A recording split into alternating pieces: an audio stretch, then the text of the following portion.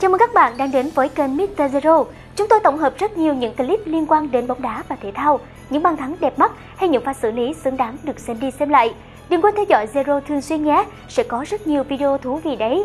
Nếu thấy hay thì hãy like, share và subscribe cho channel của tụi mình. Xin chào! Những ngôi sao túc cầu nổi tiếng nhất đều sở hữu đôi chân ma thuật làm nức lòng người hâm mộ. Chơi bóng bằng chân đã bá đạo thế rồi, cơ mà còn có những ông còn chi phối trận đấu bằng bộ não IQ vô cực nữa cơ, nó mới đẳng cấp chứ. Ngày hôm nay chúng ta hãy cùng nhau chiêm ngưỡng lại những pha xử lý ảo diệu ở cái tầm thượng thừa, được thực hiện bởi những cái đầu siêu trí tuệ bậc nhất trong thế giới bóng đá nhé.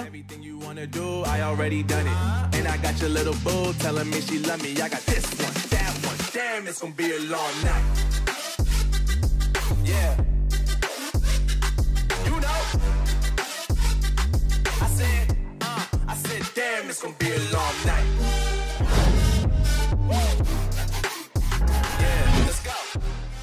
Gì mà phải chen chúc nhau ở trong vòng cấm vậy? Mấy ông thích be hàng rào chặt các kiểu chứ gì? Thế thì bọn tôi đi ra, của các ông tức. Người ta đi phối hợp xuất phát ăn luôn cơ, đỡ hộ cái luôn nha. Cứ phải tạo điểm nhấn thôi lie to these women. If I want them, then I tell them. Don't get fly for these women. I was born with these propellers. All my haters cannot beat me, so I call them acapellas. Một ý tưởng gì đó đã nảy ra trong đầu ông thần này rồi. Nhìn mặt là biết ngay. Nay thì mãi chưa chỉnh đốn xong hàng thủ này. Bất ngờ chưa? Tỉnh chưa mấy con vợ. Nếu đã tỉnh rồi thì vào lưới nhặt bóng đi nha. Bọn này ăn mừng bàn thắng cái.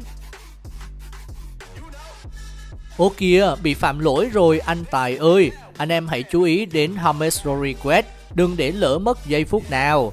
Xem trí khôn của ta đây, bị bất ngờ chưa mấy bồ. Một pha đá phạt nhanh và chọc khe tinh tế của cựu sao Real Madrid đã giúp người đồng đội dễ dàng có được bàn thắng cho riêng mình. Này anh Tài ơi, khứa đó chạm chân vào bóng rồi kìa. Tính là đã thực hiện đá phạt rồi đúng không? Ok, nếu vậy thì để Benzema xin hộ trái bóng nha. Bale ơi, anh em mình lên nào, bứt tốc đi. Và thế là có penalty cho Real Madrid ngay. Sao? Ý kiến gì ông kia? Là định hỏi công lý ở đâu hả? Qua Việt Nam mà tìm nha. Khoan khoan, đến khán giả xem thôi còn kiểu như đang bị lạc vào cõi u mê thì thử hỏi đội bên kia làm sao mà đỡ được bây giờ. Ba ông thần làm quả phối hợp đá phạt gắt quá, theo không có nổi luôn á. Ôi không, Lionel Messi bị chấn thương mất rồi. Trông có vẻ đau đớn lắm. Ú à, ngạc nhiên chưa bồ tèo. Chẳng có ca chấn thương nào ở đây hết nha. Chỉ có những tấm chiếu mới Phải vô lưới nhặt bóng thôi. Hơi non. Ai cũng nghĩ Fekir sẽ truyền bóng. Thế nhưng mà tiền vệ người Pháp đã tung cú dứt điểm với quỹ đạo bay không tưởng. Và đương nhiên rồi, cơ hội để thủ môn bên kia cản phá được là con số 0 tròn chỉnh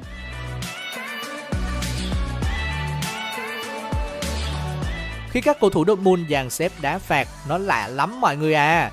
Nào, Marco Reus dứt điểm đi chứ anh. Không à, thế thì ông để tôi. Một cú tạt bóng mượt mà vào bên trong vòng cấm. Và thế là đội bóng vàng đen có ngay bàn thắng. Ơ, dễ chưa? Cái chiêu đó hay đấy, mình học tập mấy cha Dortmund xem thế nào. Ông cũng giả vờ chạy đi lỡ đà nha. Ô kìa, vào thật mọi người ạ. À. À ha, xem ra chiêu thức này thực sự có hiệu quả đó nha, anh em ghi nhớ ha. Insigne đã thấy nghiện tuyệt chiêu đá phạt đó rồi, giờ vác lên tuyển thực hành này. Ôi trời, vẫn cứ là vào à, ngại quá đi, xin cảm ơn mấy anh dai đốt muôn nha, chiêu này quá tuyệt vời luôn.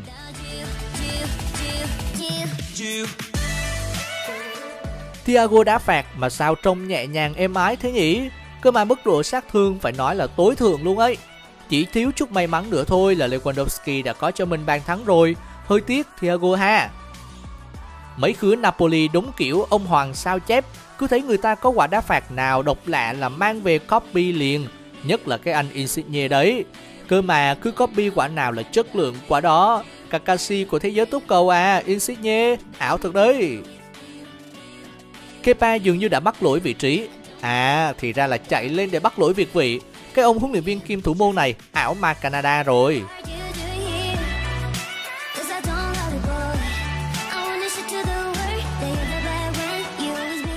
Phối hợp đá phạt góc phải cỡ như này mới đã con mắt Nói không với tạt bóng nha Ở đây chúng tôi thích truyền, ok.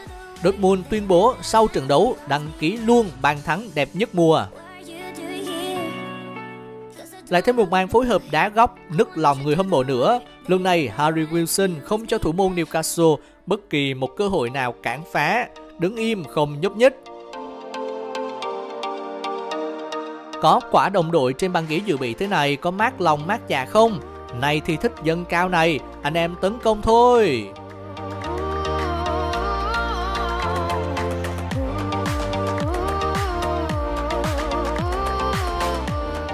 Đập bóng với chúng tôi à, biết Eto chưa? Gừng càng da càng cay nha. Này nhận bóng đi Haza rồi truyền lại cho anh.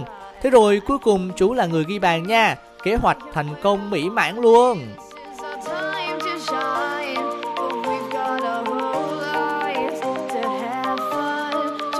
Ái chà, ôm quả bóng chặt đấy, nhưng mà chỉ số tầm nhìn hơi kém nha ông bạn. Tôi vẫn ở đằng sau nè, cho xin quả bóng nha. Yên tâm, tôi sẽ ghi bàn để không phụ công người anh em nha.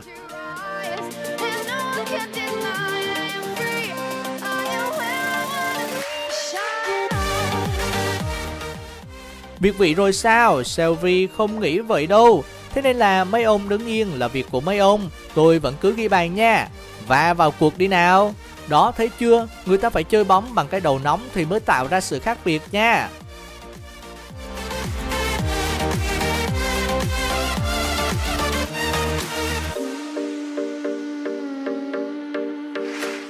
Khoảnh khắc thiên tài của Cristiano Ronaldo bị theo kèm và chặn ở mọi vị trí. Thế nhưng anh Bảy vẫn cứ đánh đầu tung lưới đối thủ được nha. Các chú tuổi gì kèm nổi anh.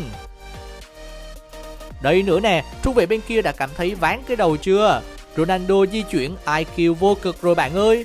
Thôi để bóng nằm gọn trong lưới đi cho nó đỡ bị chóng mặt tăng huyết áp.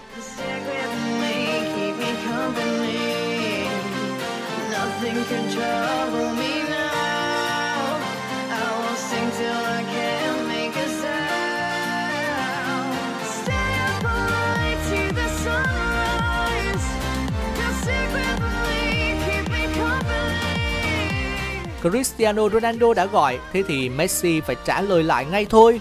Biết mình đã rơi vào thế việt vị, Ampunga đã hóa tượng để Pedro có được bóng và thêm một đường truyền lại tinh tế nữa của cầu thủ Tây Ban Nha.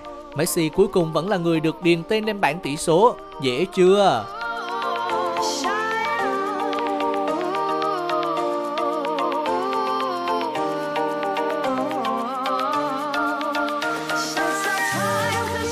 Cảm ơn các bạn đã quan tâm theo dõi. Nếu thấy hấp dẫn, đừng quên ấn like và subscribe cho kênh chúng mình nhé. Xin chào và hẹn gặp lại.